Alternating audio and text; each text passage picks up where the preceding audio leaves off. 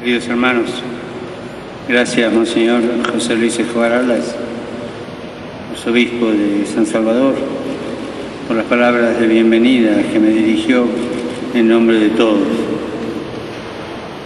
de los cuales aquí presentes encuentro amigos de travesuras juveniles. Es muy lindo eso. El buen ladrón se ríe. Me alegra poder encontrarlos y compartir de manera más familiar y directa sus anhelos, proyectos e ilusiones de pastores a quienes el Señor confió el cuidado del pueblo santo. Gracias por la fraterna acogida.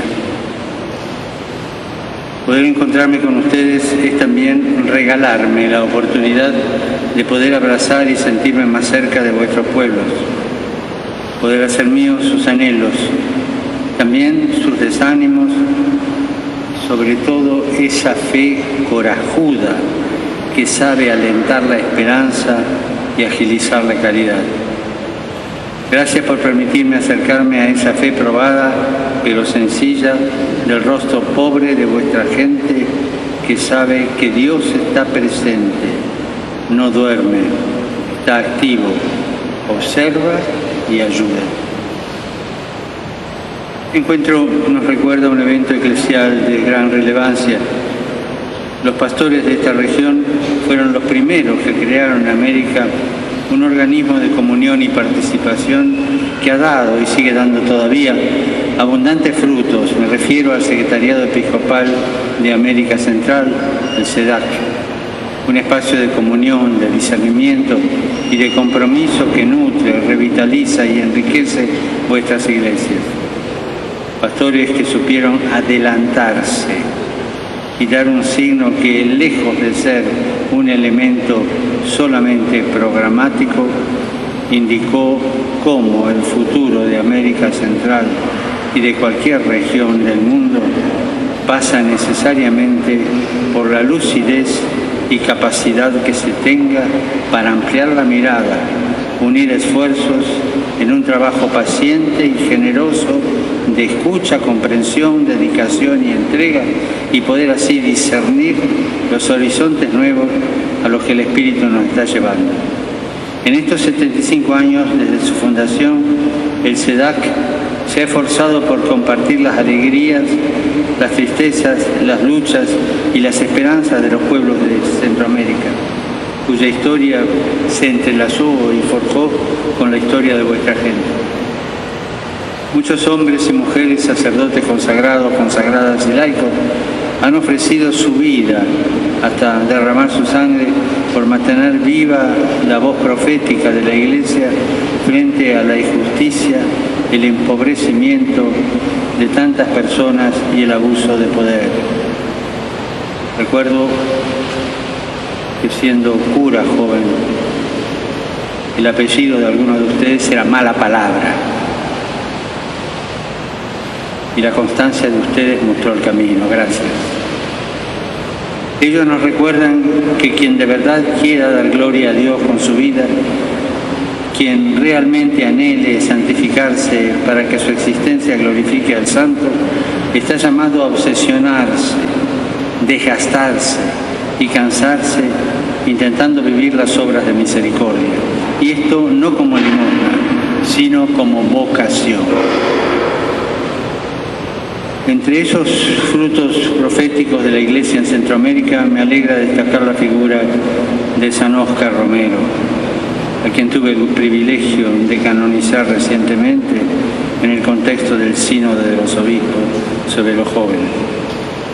Su vida y enseñanza son fuente de inspiración para nuestras iglesias y de modo particular para nosotros obispos él también fue mala palabra,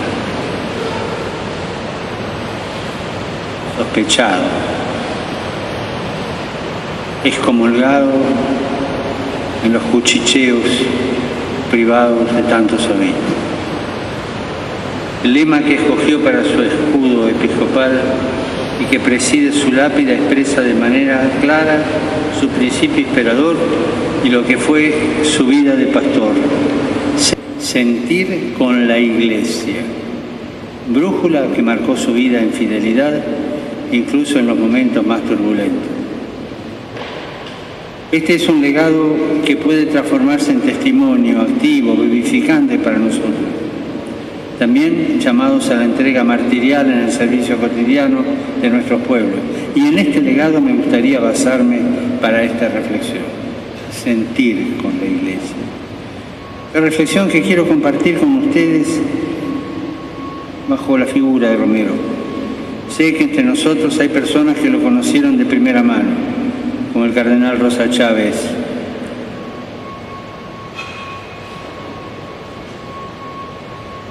a quien, de quien el cardenal Cuarrachino me dijo que era candidato al Premio Nobel de Fidelidad. Así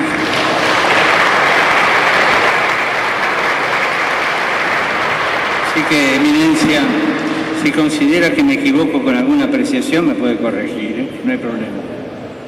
Apelar a la figura de Romero es apelar a la santidad y al carácter profético que vive en el ADN de vuestras iglesias particulares.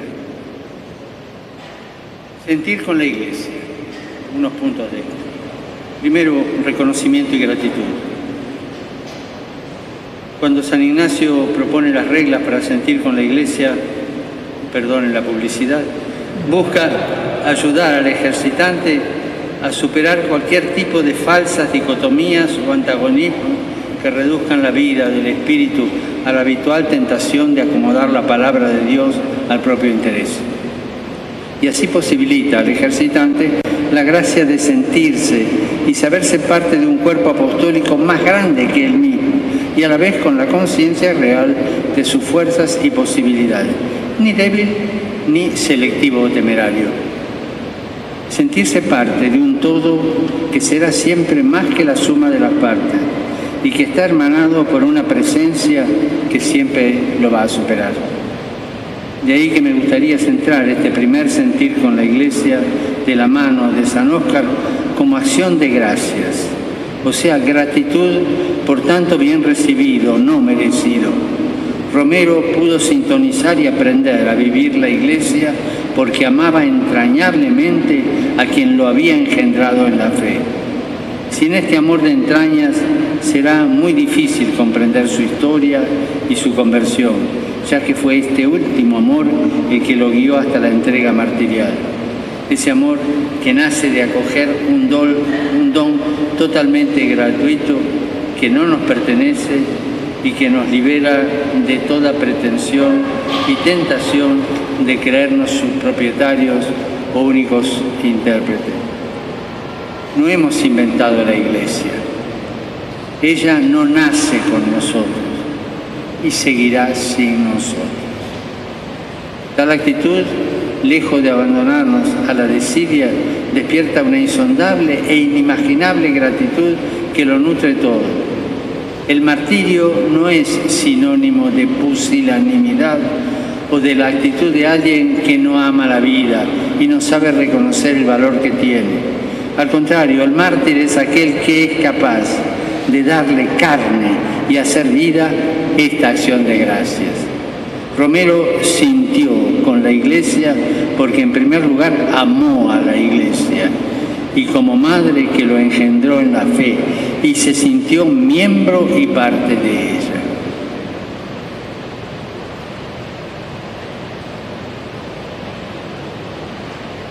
Segundo, un amor con sabor a pueblo. Este amor, adhesión y gratitud lo llevó a abrazar con pasión, pero también con dedicación y estudio, todo el aporte y renovación magisterial que el Vaticano II proponía.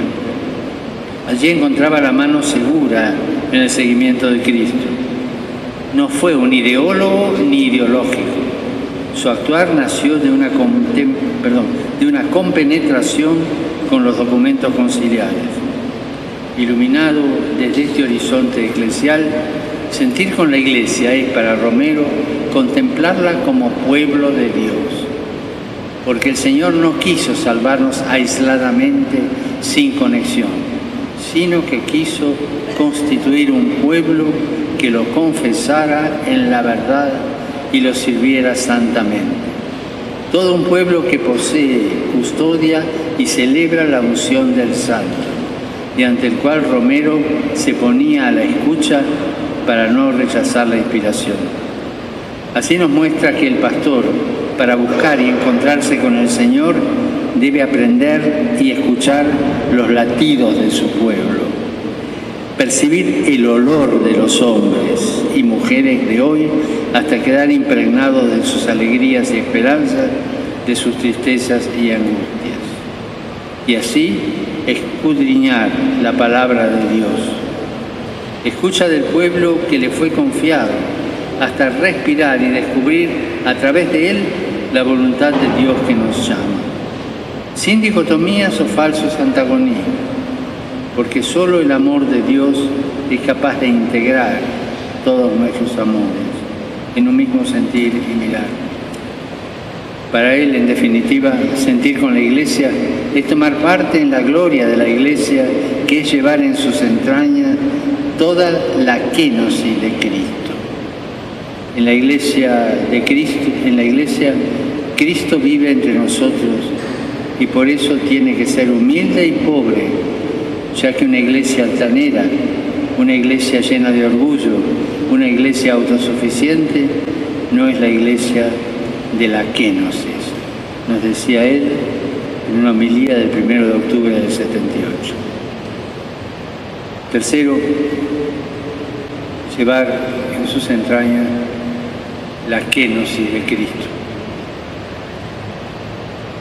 Esta no es solo la gloria de la Iglesia, sino también una vocación, una invitación para que sea nuestra gloria personal y camino de santidad. La kenosis de Cristo no es cosa del pasado, sino garantía presente para sentir y descubrir su presencia actuante en la historia.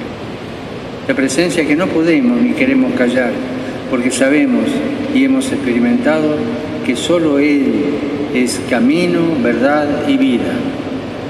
La kenosis de Cristo nos recuerda que Dios salva en la historia, en la vida de cada hombre, que esta es también su propia historia y allí nos sale al encuentro. Es importante, hermanos, que no tengamos miedo de acercarnos y tocar las heridas de nuestra gente, que también son heridas nuestras. Y esto hacerlo al estilo del Señor. El pastor no puede estar lejos del sufrimiento de su pueblo. Es más, podríamos decir que el corazón del pastor se mide por su capacidad de dejarse conmover frente a tantas vidas dolidas y amenazadas. Hacerlo al estilo del Señor significa dejar que ese sufrimiento golpee, marque nuestras prioridades y nuestros gustos, golpee y marque el uso del tiempo y del dinero e incluso la forma de rezar para poder ungirlo todo y a todos con el consuelo de la amistad de Jesucristo en una comunidad de fe que contenga y abra un horizonte siempre nuevo que dé sentido y esperanza a la vida.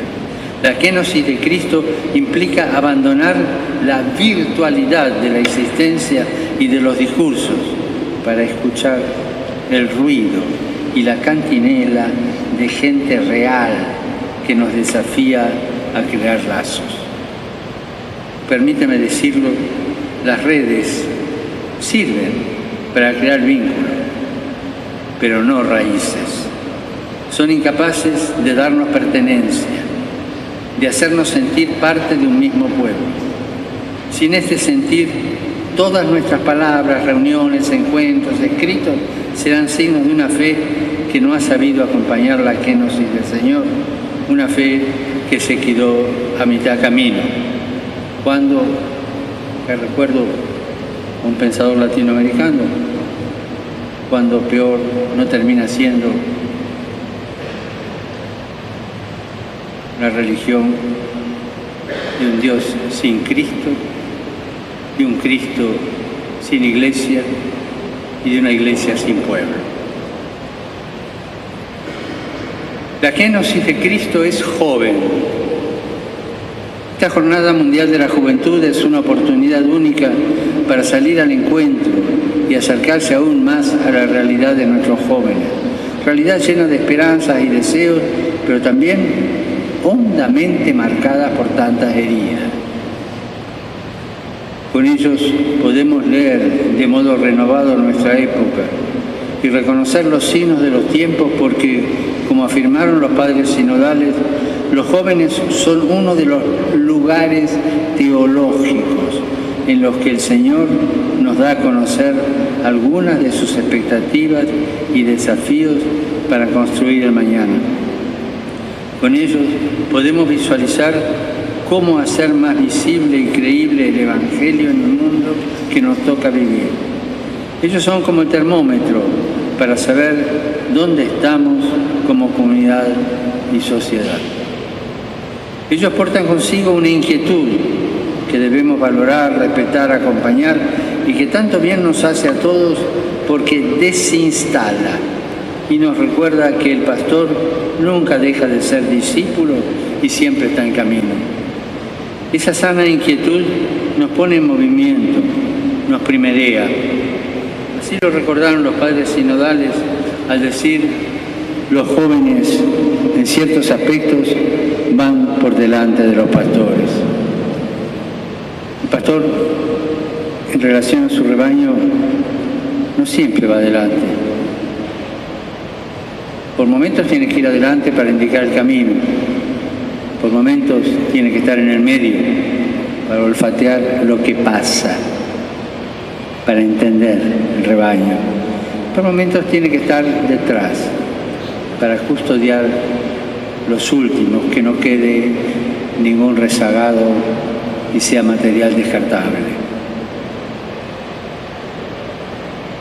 Nos tiene que llegar de alegría a comprobar cómo la siembra no ha caído en saco roto. Muchas de esas inquietudes e intuiciones de los jóvenes han crecido en el seno familiar, alimentadas por alguna abuela o catequista. Hablando de las abuelas, ya es la segunda vez que la veo. La vi ayer y la vi hoy. Una viejita así, flacucha, de mi edad o más todavía, con una mitra, se había puesto una mitra que había hecho con cartón y un cartel que decía, Santidad, las abuelas también hacemos lío. Una maravilla del pueblo.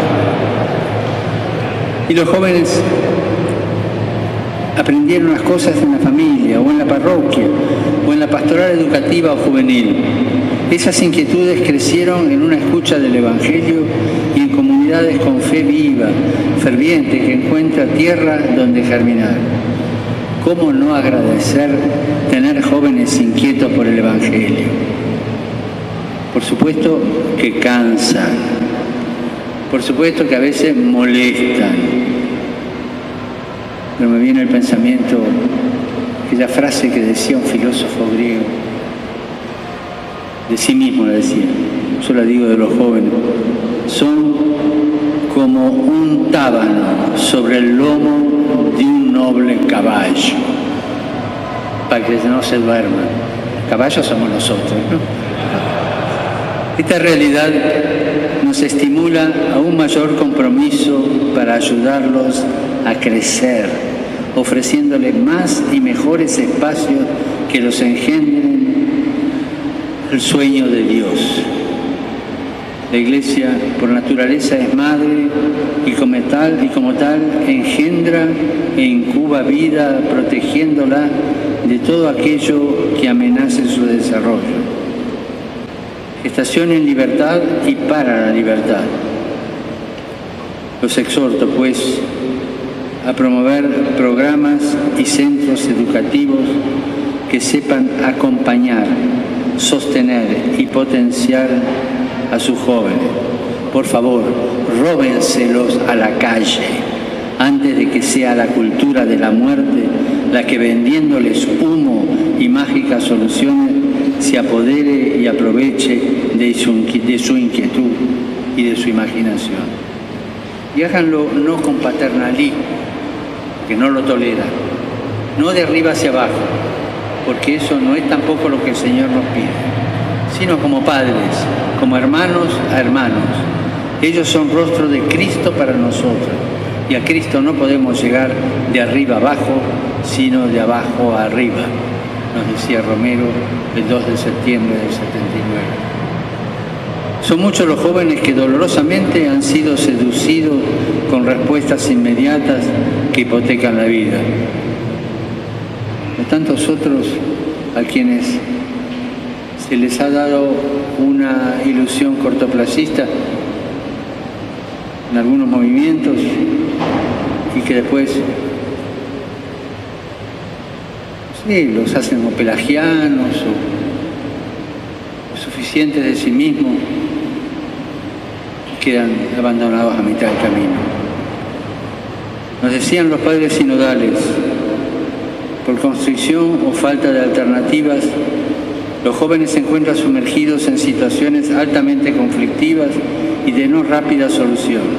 Violencia doméstica, feminicidios, qué plaga que vive nuestro continente en esto. Bandas armadas, criminales, tráfico de drogas, explotación sexual de menores y de no tan menores, etc.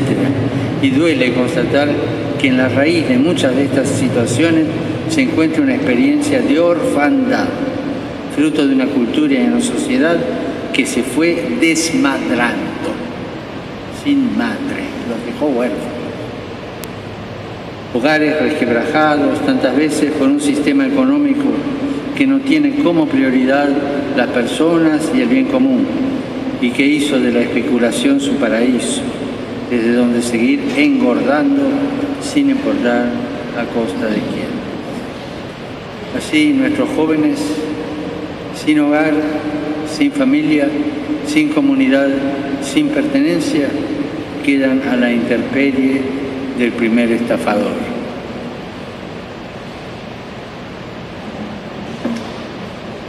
No nos olvidemos que el verdadero dolor que sale del hombre pertenece en primer lugar a Dios. No separemos lo que Él ha querido unir en su Hijo. El mañana exige respetar el presente, dignificando y empeñándose en valorar las culturas de vuestro pueblo. en esto también se juega la dignidad, en la autoestima cultural. Vuestros pueblos no son el patio trasero de la sociedad ni de nadie. Tienen una historia rica que ha de ser asumida, valorada y alentada las semillas del reino fueron plantadas en estas tierras.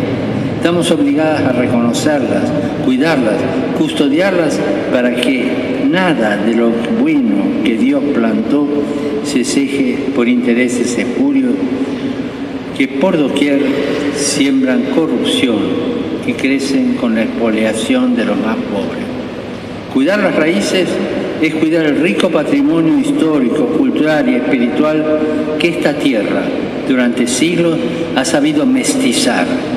Empeñense, levanten la voz contra la desertificación cultural, contra la desertificación espiritual de nuestro pueblo, que provoca una indigencia radical ya que deja sin esa indispensable inmunidad vital que sostiene la dignidad en los momentos de mayor dificultad. Y lo felicito por la iniciativa de que esta Jornada Mundial de la Juventud haya comenzado con la Jornada de la Juventud Indígena creo que fue en la diócesis de David, y con la jornada de la juventud de origen africano. Ese fue un buen paso para hacer ver este plurifacetismo de nuestro pueblo. En la última carta pastoral ustedes afirmaban, últimamente nuestra región ha sido impactada por la migración hecha de manera nueva, por ser masiva y organizada, y que ha puesto en evidencia los motivos que hacen una migración forzada y los peligros que conlleva para la dignidad de la persona humana. Muchos de los migrantes tienen rostro joven, buscan un bien mayor para su familia, temen arriesgar y dejar todo con tal de ofrecer el mínimo de condiciones que garanticen un futuro mejor. En esto no basta solo la denuncia, sino que debemos también anunciar concretamente una buena noticia. La Iglesia, gracias a su universalidad, puede ofrecer esa hospitalidad fraterna y acogedora para que las comunidades de origen y las de destino dialoguen, contribuyan a superar miedos y recelos y consoliden los lazos que las migraciones en el imaginario colectivo amenazan con romper. Acoger, proteger, promover, integrar pueblos pueden ser los cuatro verbos con los que la Iglesia en esta situación migratoria conjugue su maternidad en el hoy de la historia. El vicario general de París, Monseñor Benoit Sinedi, acaba de sacar un libro tiene como subtítulo Acoger los migrantes, un llamado al coraje. Una joya ese libro. Él está aquí en la jornada. Todos los esfuerzos que puedan realizar tendiendo puentes entre comunidades eclesiales, parroquiales, diocesanas, así como por medio de las conferencias episcopales, serán un gesto profético de la Iglesia que en Cristo es signo e instrumento de la unión íntima con Dios y de la unidad de todo el género humano.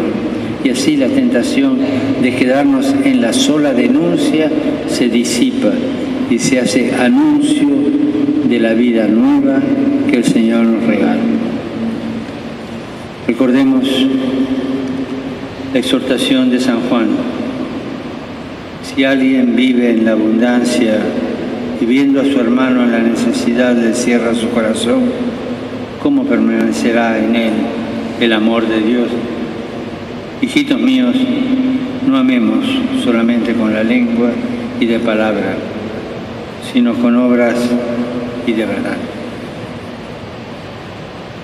Todas estas situaciones plantean preguntas, son situaciones que nos llaman a la conversión, a la solidaridad y una acción educativa incisiva en nuestras comunidades. No podemos quedar indiferentes. El mundo descarta, el espíritu del mundo descarta, lo sabemos y padecemos. La que nos es de Cristo no la hemos experimentado y la seguimos experimentando en propia carne por el perdón y la conversión. Esta tensión nos obliga a preguntarnos continuamente dónde queremos pararnos. La génesis de Cristo es sacerdotal. Conocida la amistad y el impacto que generó el asesinato del padre Rutilio Grande en la vida de Monseñor Romero. Fue un acontecimiento que marcó a fuego su corazón de hombre, sacerdote y pastor. Romero no era un administrador de recursos humanos, no gestionaba personas ni organizaciones.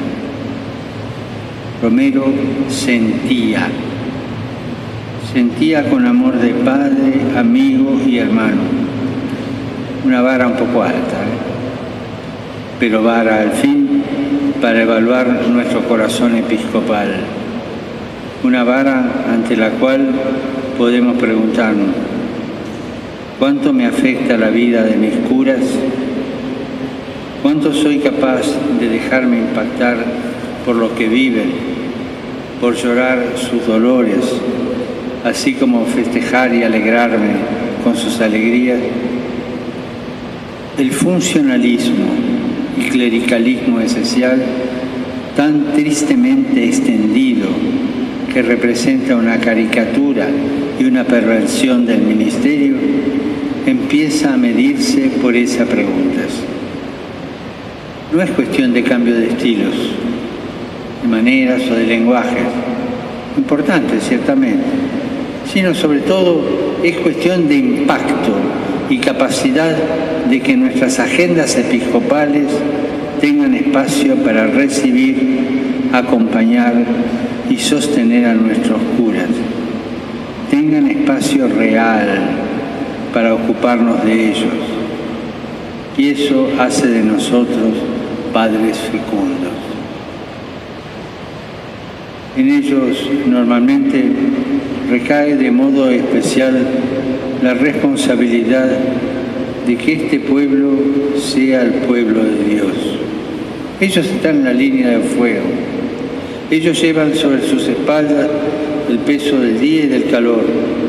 Están expuestos a un sinfín de situaciones diarias que los pueden dejar más vulnerables y por tanto necesitan también de nuestra cercanía, de nuestra comprensión y aliento. Ellos necesitan de nuestra paternidad. El resultado del trabajo pastoral, la evangelización en la iglesia y la misión, no se basa en la riqueza de los medios y recursos materiales, ni en la cantidad de eventos o actividades que realicemos, sino en la centralidad de la compasión, uno de los grandes distintivos que como iglesia podemos ofrecer a nuestros hermanos. Me preocupa cómo la compasión ha perdido centralidad en la iglesia. Incluso en grupos católicos. O está perdiendo, para no ser tan pesimista. Incluso en medios de comunicación católicos, la compasión no está. El cisma, la condena, el ensañamiento, la valoración de sí mismo, la denuncia de la herejía. No se pierda en nuestra iglesia la compasión y que no se pierda en el obispo la centralidad de la compasión.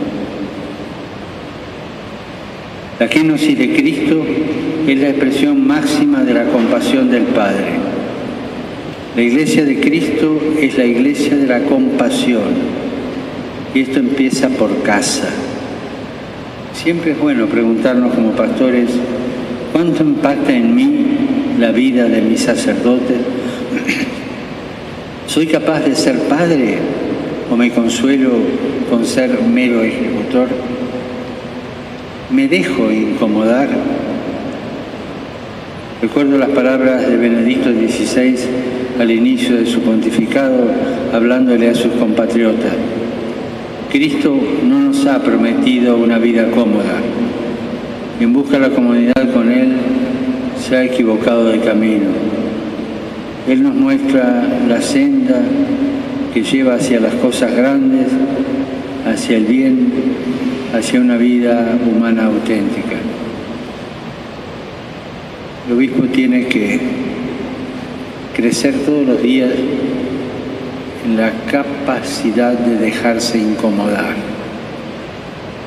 de ser vulnerable a su cura. Estoy pensando en uno, obispo de una diócesis grande, muy trabajador, tenía las audiencias a la mañana, era bastante frecuente que, bastante frecuente, cuando terminaba las audiencias a la mañana ya no había la hora de ir a comer. Había dos curas ahí que no estaban en la agenda esperándolo. Y este volvía atrás y los atendía como si tuviera toda la mañana por delante. Dejarse incomodar y dejar que los fideos se pasen y que la chuleta se enfríe. Dejarse incomodar por los curas. Sabemos que nuestra labor en las visitas y encuentros que realizamos, sobre todo en las parroquias, tiene una dimensión componente administrativo que es necesario desarrollar. Asegurar que se haga así, pero eso no es ni sería sinónimo de que seamos nosotros los que lo tenemos que hacer, y utilizar el escaso tiempo en tareas administrativas. En las visitas lo fundamental y lo que no podemos delegar es el oído.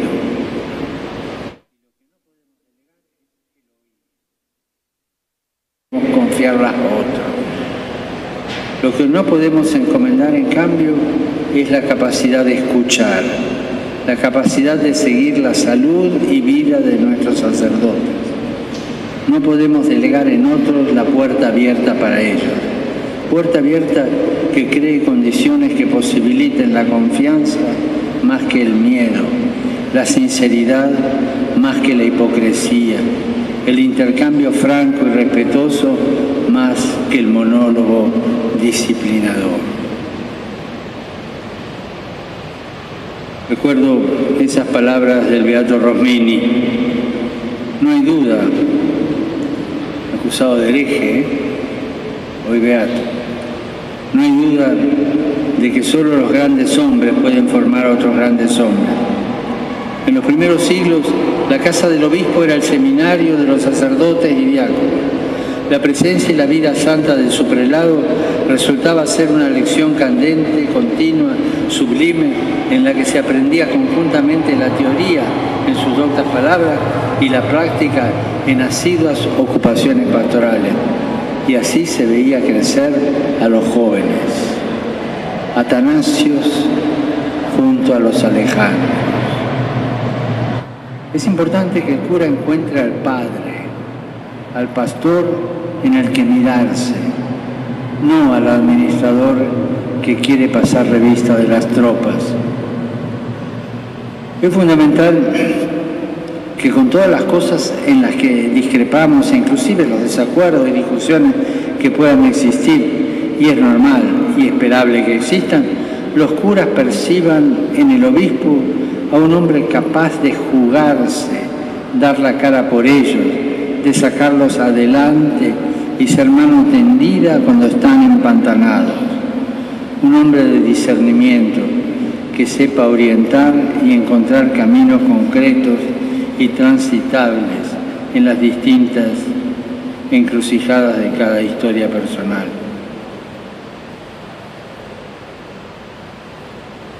Cuando estaba en Argentina a veces escuchaba gente que decía, llamé al obispo, cura, ¿no? Y la secretaria me dijo que tenía la agenda llena y que llamara dentro de 20 días, que estaba muy llena y no me preguntó qué quería, nada. Quiero ver al obispo. No puede, así que yo lo anoto en la lista. Claro, después ya no llamó más el cura, ¿no? Y siguió con lo que quería consultar, bueno o malo dentro de sí. Esto es no un consejo, sino una cosa que digo del corazón. Que tengan la agenda llena, bendito sea Dios. Así van a comer tranquilos, porque se ganaron el pan. Pero si ustedes ven un llamado de un cura hoy, a más tardar mañana, llámenlo. Si vos me llamaste, ¿qué pasa? ¿Podés esperar hasta tal día o no? Ese cura desde ese momento sabe que tiene padre. La palabra autoridad etimológicamente viene de la raíz latina augere, que significa aumentar, promover, hacer progresar. La autoridad en el pastor radica especialmente en ayudar a crecer, en promover a sus presbíteros más que en promoverse a sí mismo. Eso lo hace un solterón, no un padre. La alegría del Padre Pastor es ver que sus hijos crecieron y que fueron fecundos. Hermanos, que esa sea nuestra autoridad y el signo de nuestra fecundidad.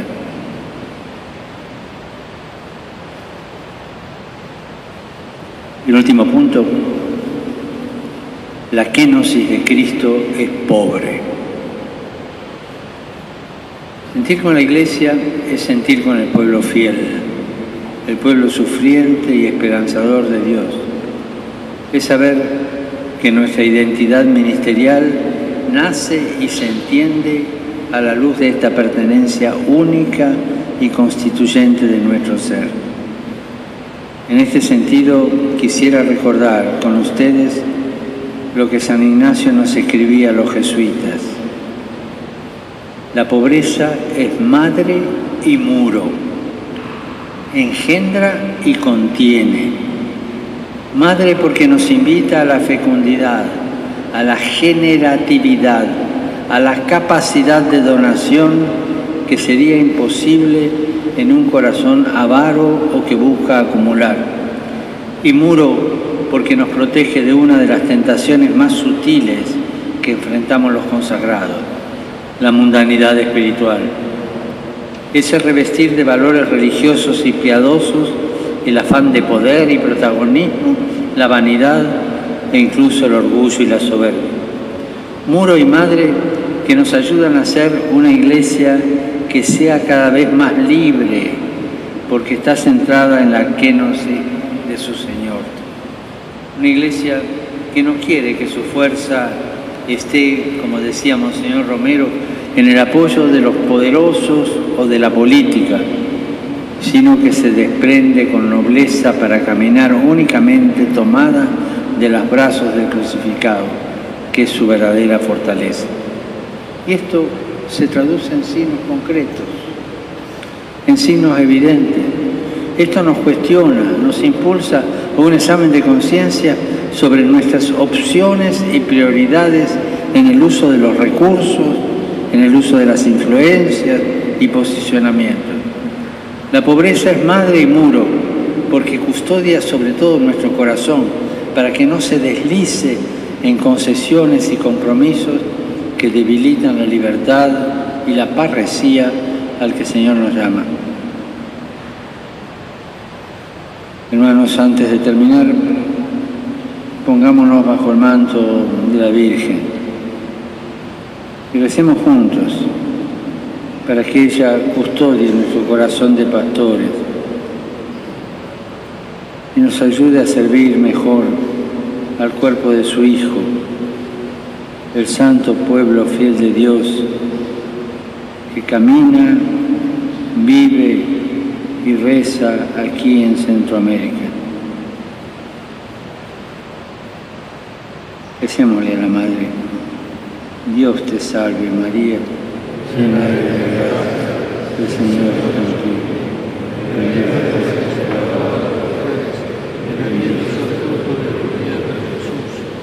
Santa María, Madre de Dios, ruega por nosotros pecadores, ahora y en la hora de nuestra muerte. Amén. Que Jesús los bendiga, que la Virgen los cuide y por favor no se olviden de rezar por mí para que cumpla todo lo que dije. Muchas gracias.